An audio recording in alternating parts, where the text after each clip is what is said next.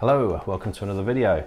It has been a while. Um, it's going to be another editing video uh, because I've, I've, not been out very much recently because I've been really busy with work, but also the cloud has been really bad. Um, and then also whenever I do have chance to get out and shoot, uh, this geezer called Gav just keeps turning up in the back of the vlogs and ruining them.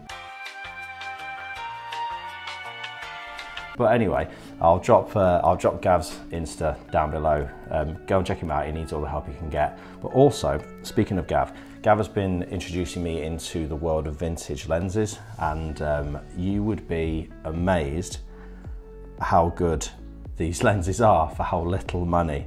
Now, what we're going to be doing in this video is editing a picture of Orion, uh, and I'm going to show you what I found to be the easiest way of editing deep space. Now, um, you might watch other videos, you might uh, and see much better ways of doing it. But from all my short experience with deep space objects, this I've found for me personally to be the most easiest. So I'm going to take you through that. I'm sure it'll evolve. Like if I come back again in a few months, um, I'm sure I'll have learned a few more things. Uh, but yeah, we're going to be shooting the Orion Nebula. I am going to put a link to the TIFF for the stacked file. It's about an hour and a half, maybe an hour and 40 worth of um, uh, exposure. I've been shooting on my Star Tracker, a minute 30, however many shots that is. But then, yeah, back to talking about Gav, it's Gav that introduced me to vintage lenses. And this, the picture you'll see is shot on this weapon here. And this is, it was 20 quid from Facebook Marketplace. And this is the Prinz Galaxy 400mm f6.3. Yeah, and anyway, look at the size of this thing. But um, 20 quid off eBay, and you wouldn't believe, um, well, you'll see how, um, how sharp the, the, photo comes out. But anyway, we're gonna do some editing. Um, I'm going to take you through. I'll jump into um, screen record now and we'll just get going. As I say, I shot this in my garden. I um, shot this with no filters or anything like that. And I, I don't really know what I'm doing. I, I, do need to do some more videos on my tracker and getting Astro modded on the camera and stuff like that. But, um, okay, so here we are. So this is the this is the stacked image, and yeah, I'm just going to take you through what I think to be the easiest way of editing. I'm just going to crop this in so that we get rid of the uh, the artifacts around the side that are stacked, and you're literally going to open the levels and just keep doing the levels over and over and over. Now there is also a um, a paid plugin that I use here that is important, I think so. It's called um, Gradient Xterminator and I paid 45 quid for it. So I, I'm not saying that you should necessarily try that, but I am finding that in all of my deep space um, editing, I'm using this plugin. I find it really, really useful. I'll try and show you a way around it, not using it, but also it does have a free trial, a 30 day free trial, so you could give it a go yourself and see what you think. Uh, right, so yeah, so I'm literally just gonna open levels, Command and L, and all I'm gonna do over and over again is I'm gonna pull in the black point to where it meets this spike of data and I'm gonna pull in mid to where it meets the spike of data. And you can see that is slightly stretching the image. So click OK on that.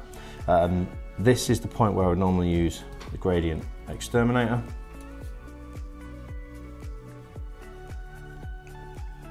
And you literally just open it, click OK, it will run, and then that's the image sorted. It does do an amazing job. What I'm going to do is I'm going to go back, um, I'm going to show you what else you could try and do, which is back into levels, so Command and L for Mac, and then over here, see where it says to set the grey point, we're just going to choose in the middle. And you can see it's done a sort of similar job. Not quite as good, it's not taken out the um, vignetting around the corner, but it's done, a, I would say, a similar job. But I'm going to cancel that. I'm to run the astro gradient, and then I'm going to crack on. Gradient Xterminator, sorry, not astro gradient. Right, cool, so you see what's done to the image. Uh, and then all I'm gonna do is just continue, keep going, keep going, keep going. So we're gonna bring that in, bring that in, you will start to see the filth that is on my sensor. And don't worry about it, we'll sort it. Keep bringing it in, keep bringing it in. And you can see that it's starting to pull out a lot of detail around the nebula there. I think we can probably get away with another one. As you can see, it's making an absolute mess of the corners, but all we're gonna do is crop that out. Probably end up going, cropping a little bit more than that in the end, but we'll just crop that out. There you can start to see the absolute fill from my sensor here. I've cleaned it since, but let's not worry about it. Okay, so I reckon we could probably get away with one more. And you can see all of the, uh, oh actually there, you can see it's starting to fall apart, the image. So that probably means that we've gone as far as we can with this. So the more data, the better, is what I would say. Um, I've only got an hour and a half here. If you could go hours and hours and hours, that'd be fantastic. But right, so that's all we've done. Normally when you're using um, the curves, which would be Command and M, if you pull up the curves, you just blow out the core. You then have to do uh, another layer and then use a mask layer and um, mask through the previous layer's core so that you don't blow it out. But if you just use the levels over and over and over again, then you can see it's not blowing out, which is great. At this point, you can see that it doesn't look the best, but I'm just gonna go into Camera Raw.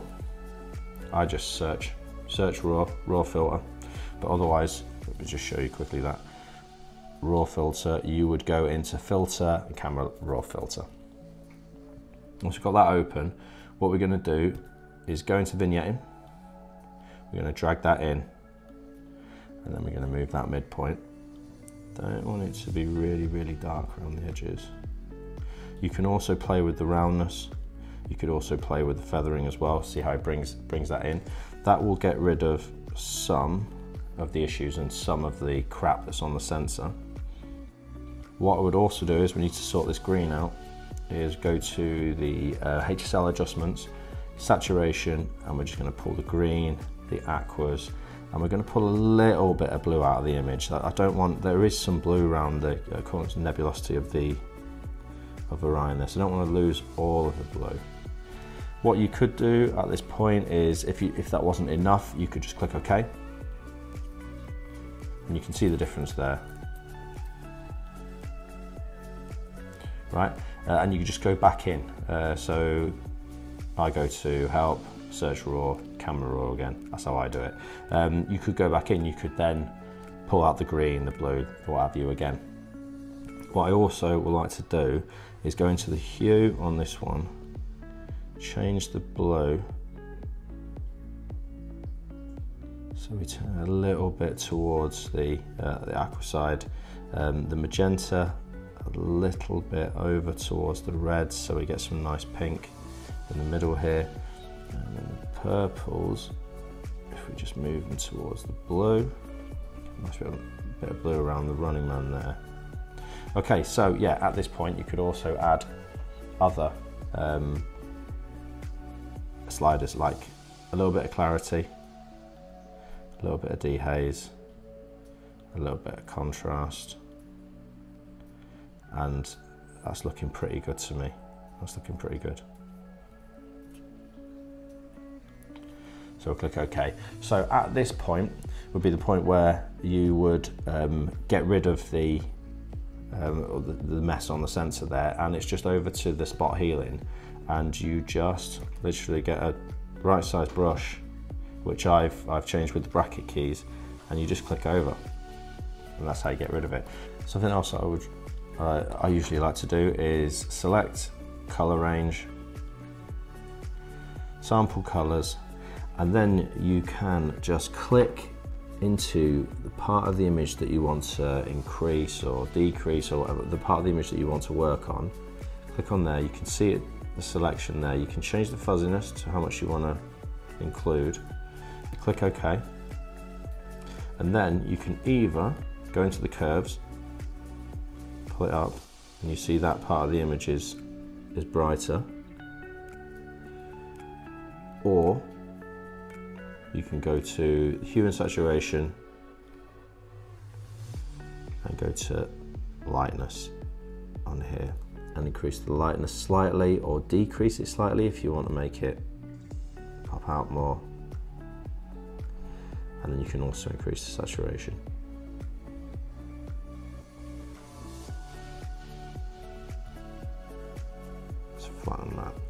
right so I'm just going to go into the raw filter I'm going to put a little bit of a little bit more vignetting on there. Click OK. And then I'm just going to get rid of all the mank that's on the sensor. Just literally spot healing and click.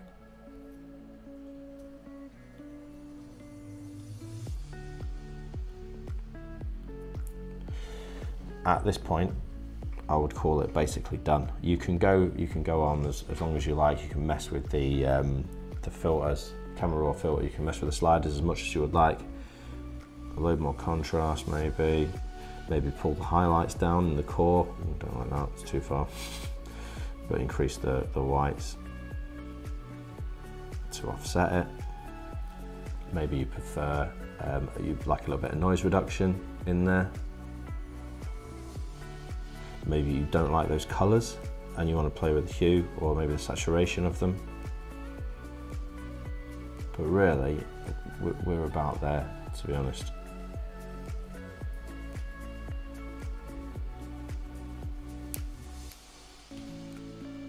yeah, I'm quite happy with that picture.